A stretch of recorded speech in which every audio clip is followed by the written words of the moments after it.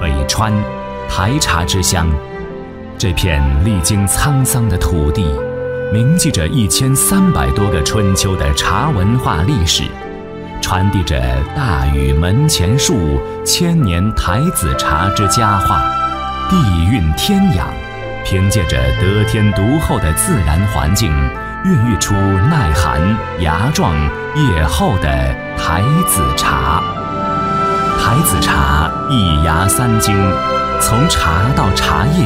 要经历一场蝶变的序曲，摊亮、杀青、揉捻、炒二青，温度与草木之间分寸感的对决，使鲜茶内敛的暗香开始弥漫。正是在这首序曲中，方成大自然馈赠之礼，迎来它的下一次绽放。品茶之趣由气开始，茶与气相濡以沫，互诉着茶之清韵。茶有上品，适口为真。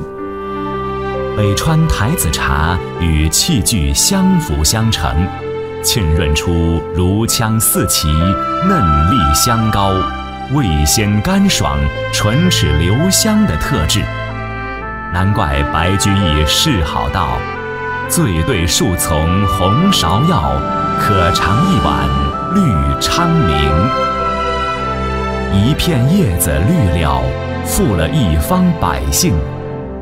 北川台子茶不仅是古羌人的智慧，更是北川人民劳动的结晶。习近平总书记对北川的新年慰问。更是激发了北川人民乡村振兴的信心。从手工制茶的复阴抱阳，到机器制作的刚柔并济，愈发熠熠生辉。大禹的一抿茶香，生生不息。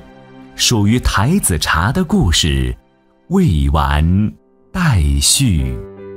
建设农业强国。